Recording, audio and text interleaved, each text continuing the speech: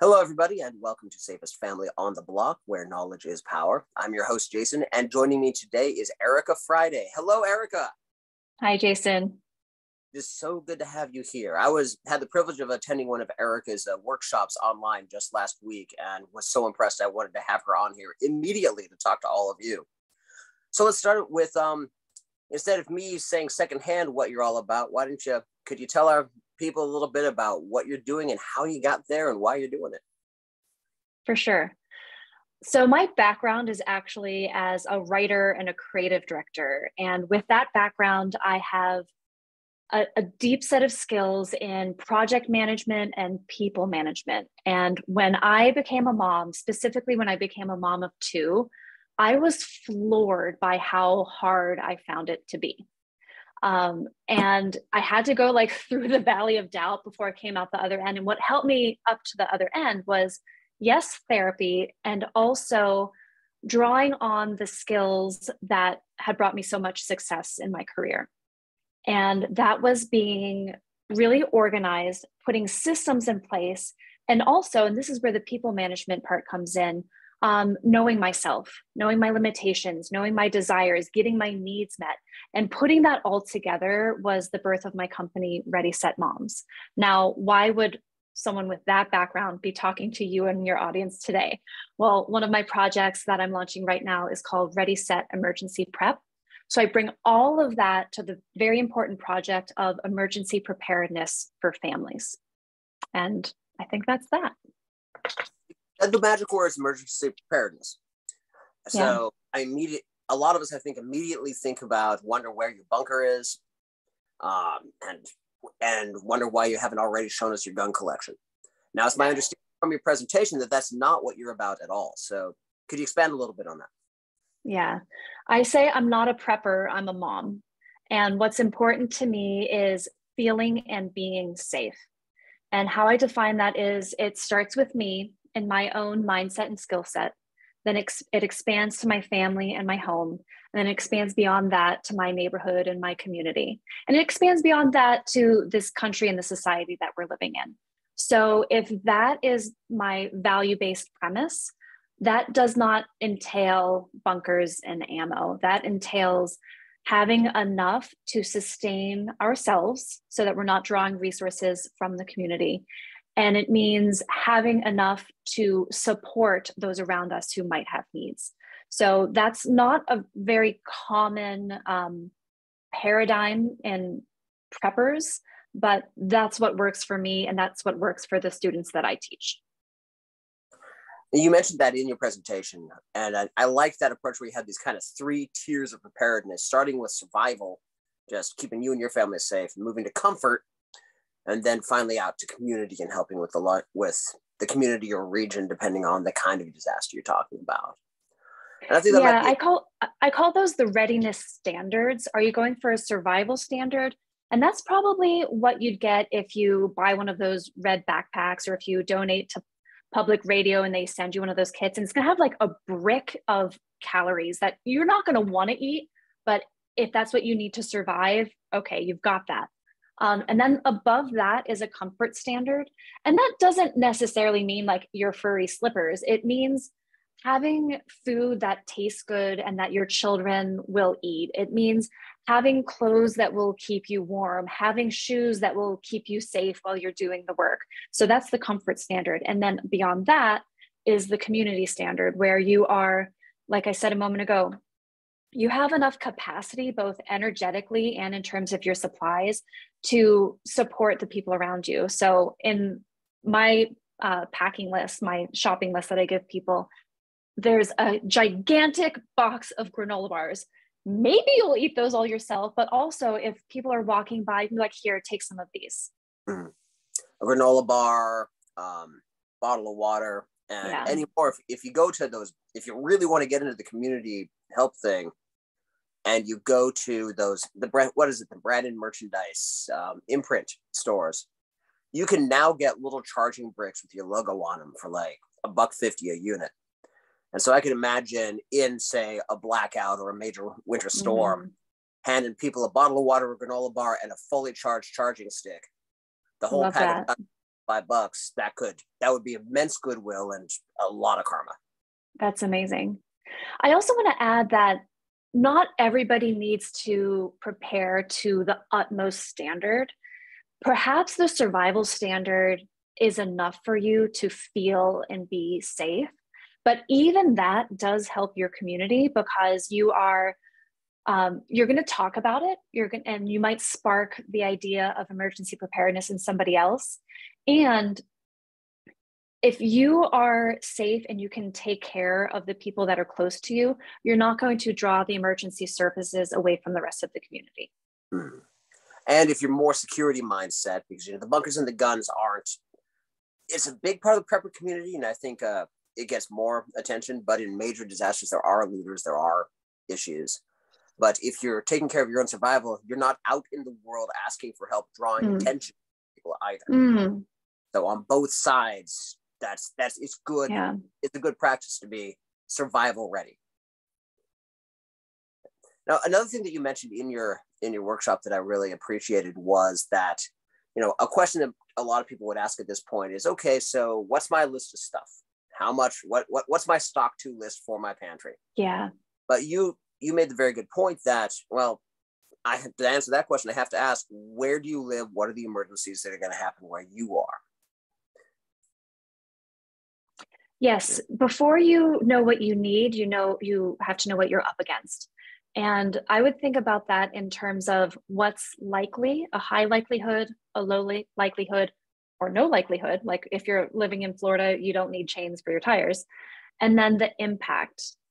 How grave would the impact be if an if an earthquake happened tonight and we have not made preparations be pretty great. So is the impact high or low? When you take into account the likelihood and the impact that helps you focus where you want to start your efforts. That feels very much like the old stephen covey um, urgent important grid right? Mm-hmm. is it mm-hmm. urgent and important? Is it urgent or important? You've got the same thing the four quadrants. Yeah. Act and likelihood.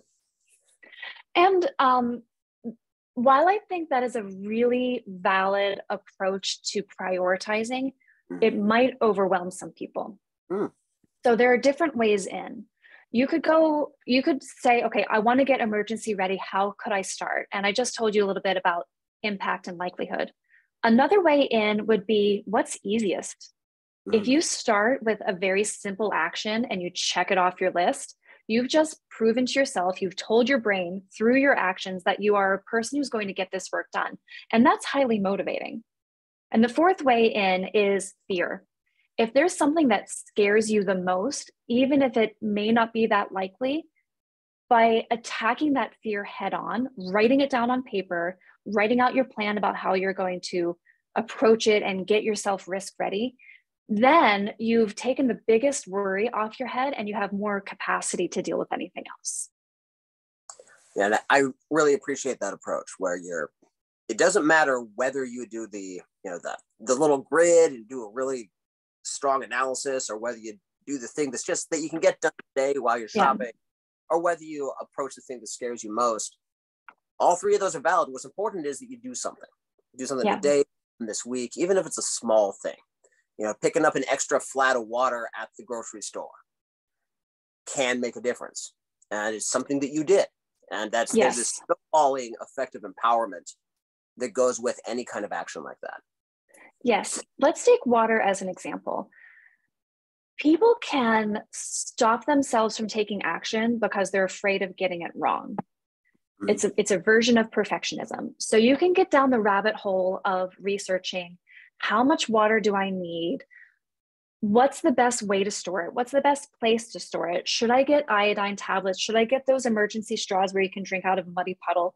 Um, should I get those bricks where I have to treat the water? And then how often do I need to rotate them? Should I get those cans? Should I learn how to take water out of my hot water tank or the back of the toilet? And it's just like,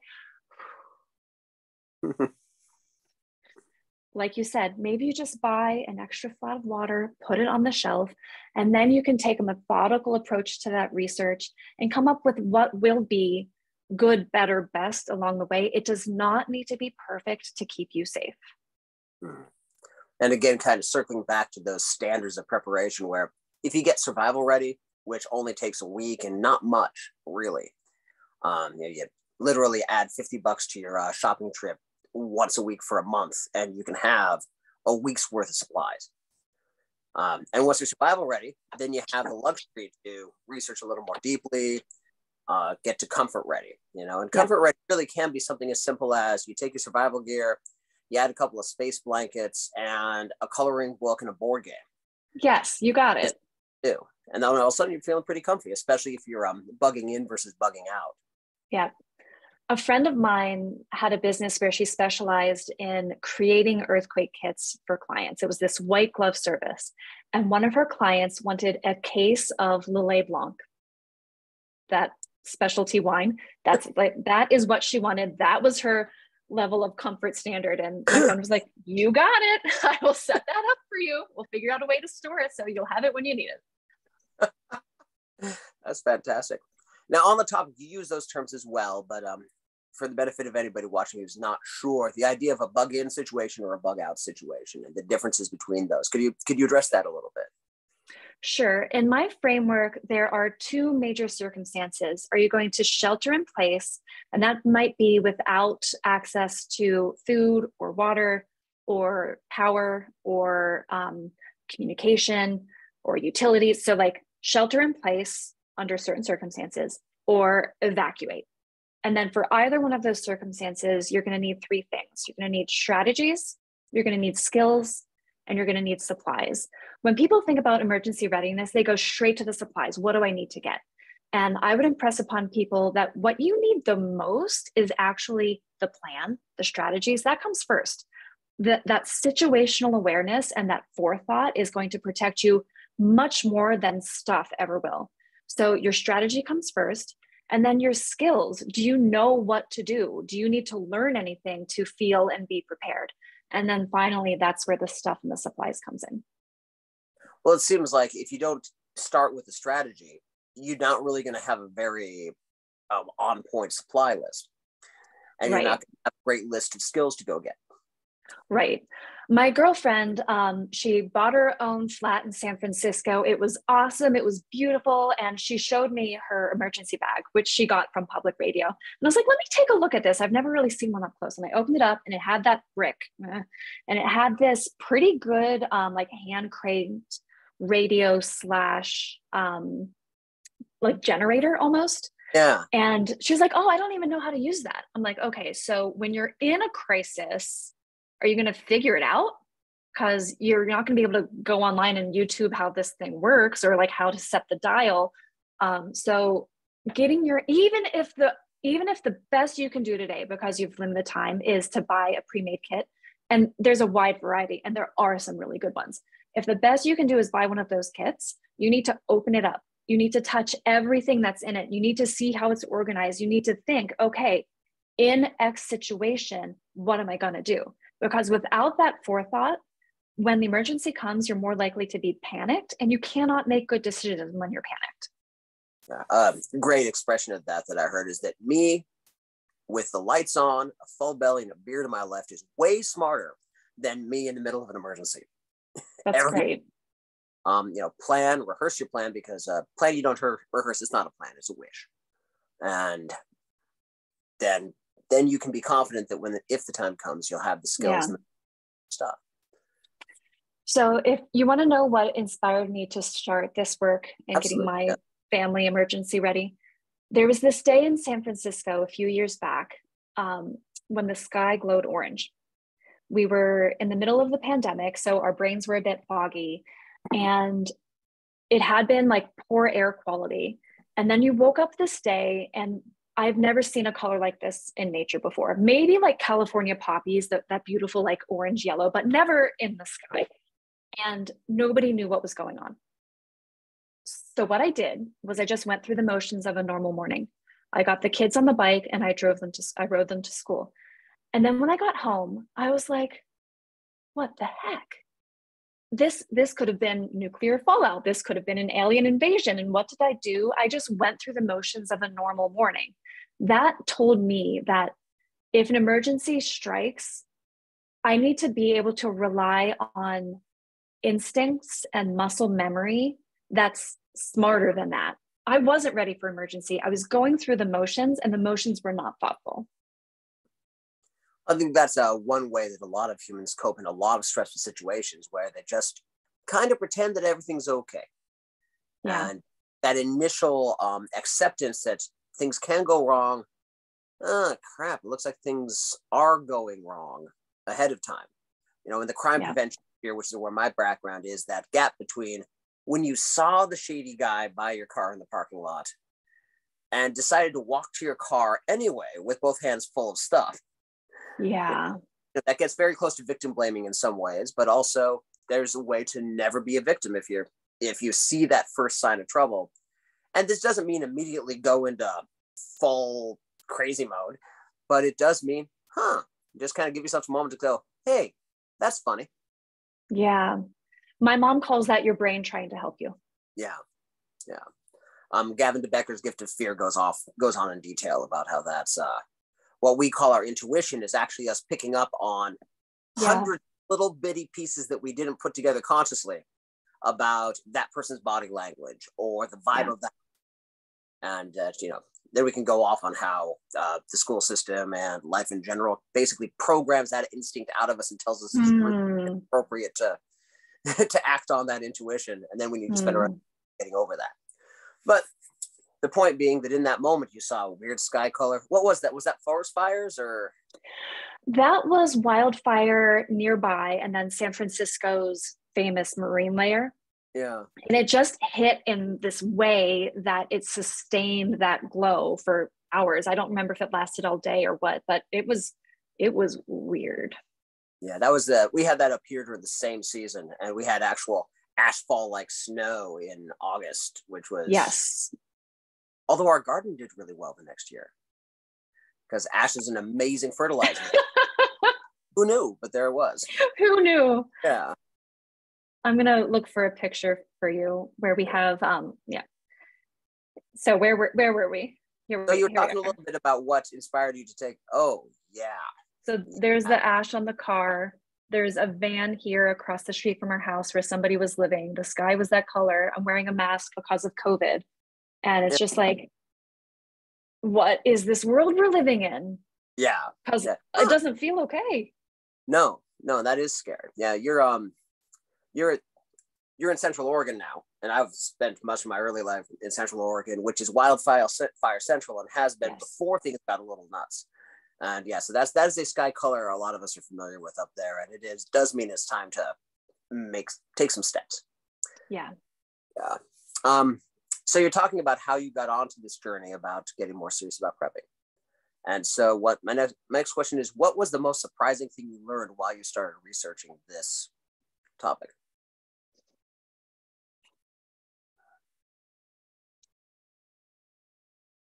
whatever your nature is in approaching a challenge is going to show up in emergency prep. So if you tend to go down a rabbit hole of research, that's going to show up. So have the mindfulness to be able to pause and say, do I need this to be perfect or do I need this to be done? And depending on the likelihood and the impact, you can make that decision. So when it comes to the water, you want to get it right about how much water you want to have access to, but the exact how maybe doesn't matter as much.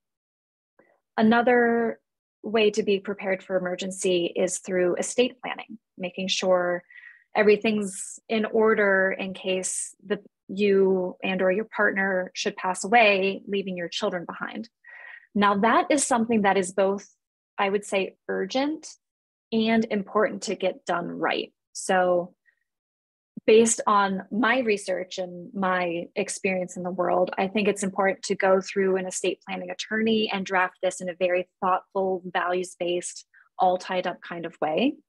Somebody else with different different inputs whether that's how much money they want to spend on it or how serious they think it has to be might choose a more DIY approach, finding a way to, to build their estate plan using free software. So that's just another example of Do I want to get it done or do I want to get it perfect? And then how do I move on from that decision point? Yeah, and as you say, making sure that it's the right solution for your family and your situation. You know, if you've got, yeah. you know, a corporate lawyer with a few million dollars in assets spread out in bank accounts, yeah. countries, and three homes is going to need one solution. there's other folks who are like, buddy, the house is underwater, but there's a ten thousand dollars worth of Krugerrands buried in the backyard.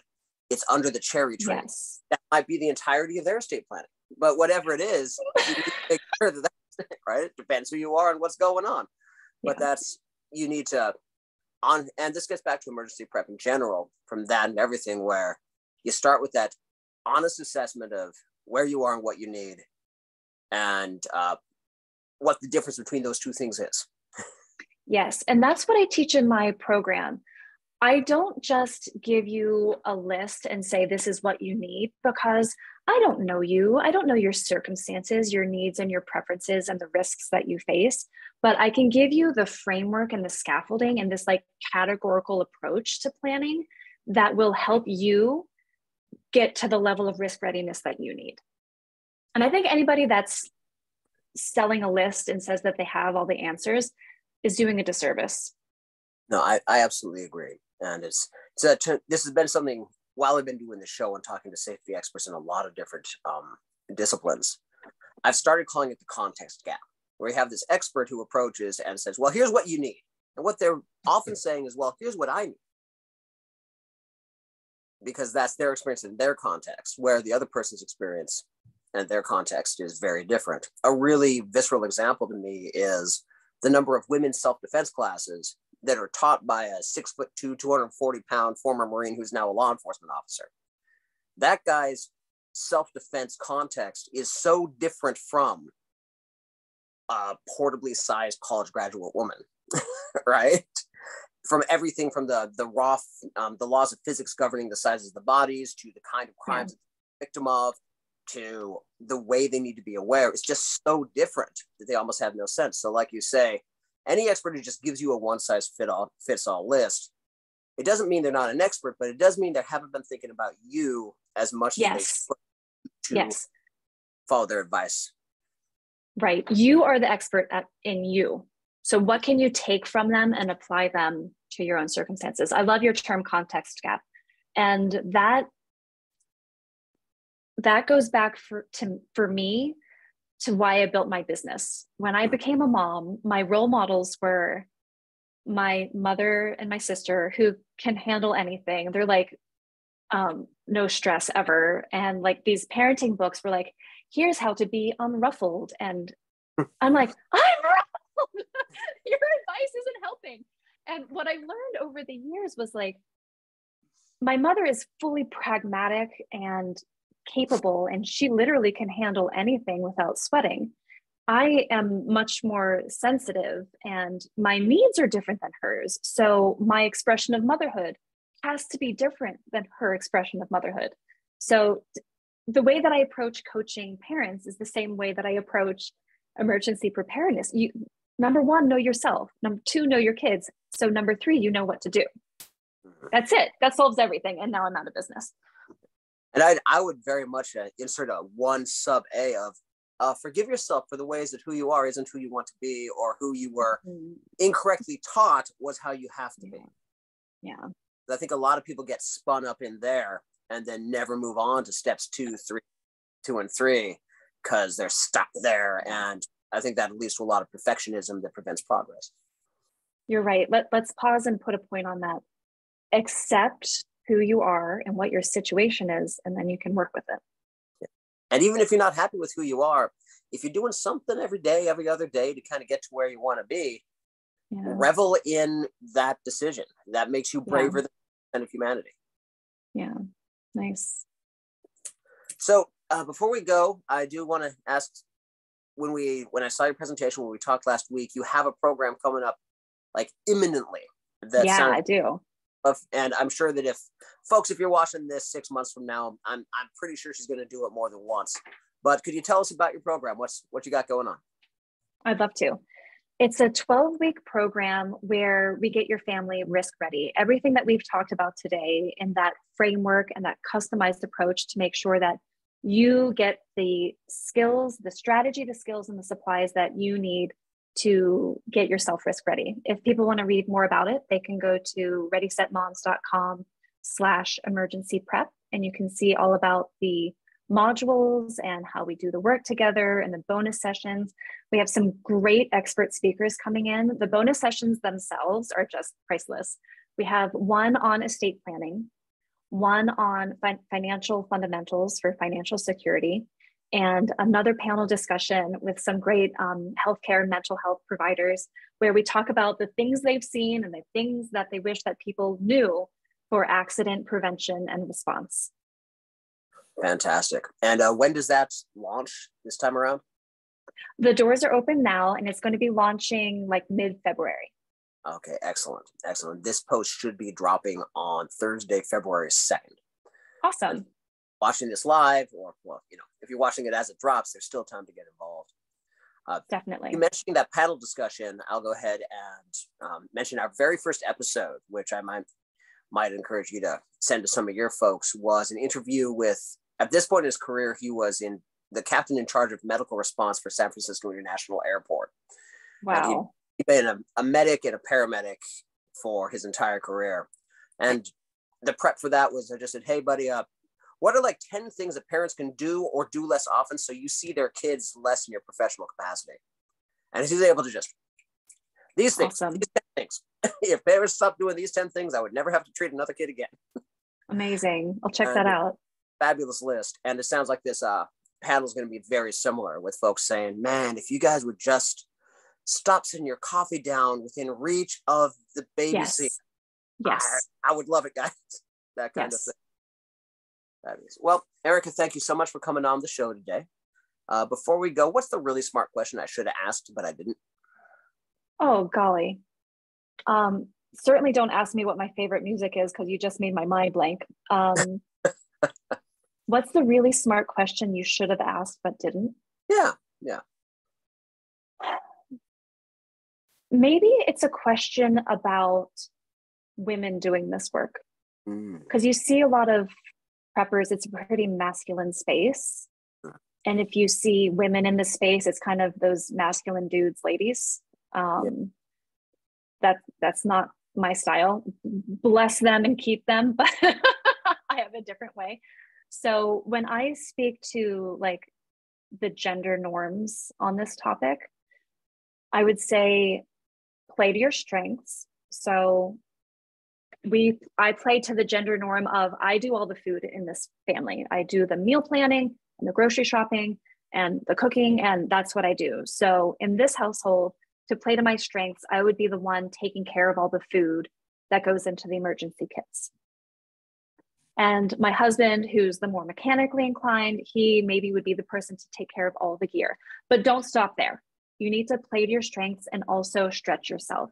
So I need to give my husband a tour of all the food and the rationale behind it and how I imagine us deploying it. And he would need to give me a tutorial about all of these tools and how they're organized and how he imagines we would deploy it. And this comes back to you need to touch and be aware of everything that goes into your emergency kit because preparing for the emergency is practice for the emergency.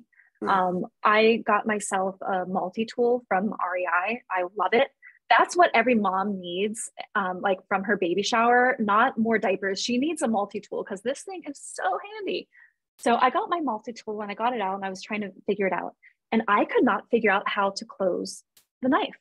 Mm. and it was not on the packaging and i couldn't find it on you. so i was like looking at this thing every which way. I set it down. I walked away. I came back and then etched ever so slightly is this um, picture of a lock so you mm-hmm. have to mm-hmm. press this and then you can send the whole thing down now, if I'm again in an emergency and I'm panicked, I'm not going to be able to figure out how to close the gosh darn knife. So again, plug for practice.